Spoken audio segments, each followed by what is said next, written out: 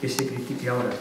¿O cómo es posible que se diga que se podían haber hecho otras cosas? ¿Por qué no las habéis propuesto? Porque yo no creo en la generosidad mal entendida en política, que es la inanición, el entregarse al otro gratuitamente. Eso no existe en política. Es decir, ¿por qué razón no habéis hecho otras propuestas? Supongo que no os pareciera tan mal. Lo que ocurre, y remato, es que es verdad que el sistema educativo vasco concita acuerdo básico en toda la sociedad. Y es muy difícil cuando no se rompe con el acuerdo y se hacen cosas nuevas que a la vista está, como el trilingüismo, como su escuela 2.0, como la potenciación de la investigación en la universidad, cuando se hace eso, no se puede criticar y de hecho no ha habido alternativas, ni vuestras ni del PNV. Pregunta-respuesta, por favor, Vicente. Bueno, pues efectivamente, nosotros respaldamos al gobierno. Hombre, por algunas cosas que tenían que ver con la educación y por muchas otras que no. Eh, queríamos un gobierno vasco, eh, desde luego, mucho más comprometido en la lucha contra ETA para terminar cuanto antes, porque llevamos ya mucho retraso. Eh, necesitábamos, hubiésemos necesitado terminar con, con el terrorismo muchos años antes y se cometieron muchas equivocaciones, pero creíamos que se podía hacer. Y, y, y trazamos un camino. En la educación pues señaló algunas cosas. Por ejemplo, algunas de las condiciones que puso el Partido Popular era hombre, que se eliminaran las ilegalidades del currículum vasco, por ejemplo.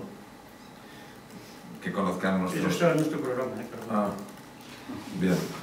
Bueno, que efectivamente se respetase la libertad, que se entendiesen las dos lenguas como dos lenguas oficiales, mm, ninguna eh, imposición, eh, que nuestros alumnos tengan una visión universal, universal también de la vida, que eh, sepan lo que es el País Vasco, que sepan también lo que es Euskal Herria, que sepan lo que es España, también es importante porque pensar que Euskal Herria es una isla eh, y, y lo siguiente es Europa, pues creo que esto te descon- Pensar que el Estado es una cosa y España es otra, que los ríos, que el Estado no tiene ríos ni montes, esto de los montes del Estado pues no es una cosa que sea bueno que, que yo creo que era muy importante que, los, que el currículum vasco que trata de definir conceptos y contenidos pues no cometiese las estupideces que venían cometiendo algunos porque en su cerrazón habían decidido eh, que nos mirásemos solo a nuestro ombligo. Pero creo que, que teníamos la oportunidad de haber hecho muchas más cosas, que el Partido Socialista siempre sacando pecho de que la educación vasca pues la han hecho ellos en los tiempos eh, que gobernaban con el PNV en los 80, que todos los pactos lo hicieron ellos,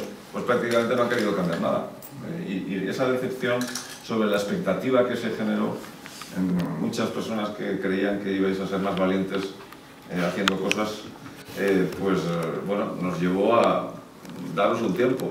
Nos pedíais más. No era una cuestión de hacer propuestas a o, o de pegarnos en el Parlamento.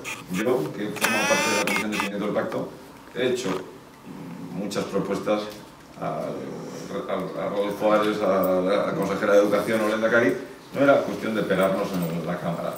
Eh, se suponía que éramos unos, socios bien avenidos que cuando vimos que nuestro socio pues eh, no quería saber nada de nosotros y había decidido eh, aplicar las políticas de los anteriores, pues comprendimos que ya no tenía ninguna necesidad de que les apoyásemos nosotros, para eso ya estaba el PNV, ya le apoyaban ellos. ¿no? Gracias, Iñaki.